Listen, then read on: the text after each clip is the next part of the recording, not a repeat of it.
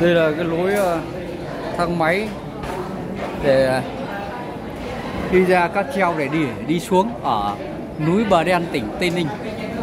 Đi lên rồi, bây giờ đang đi xuống, đang th- thực hiện hành trình đi xuống.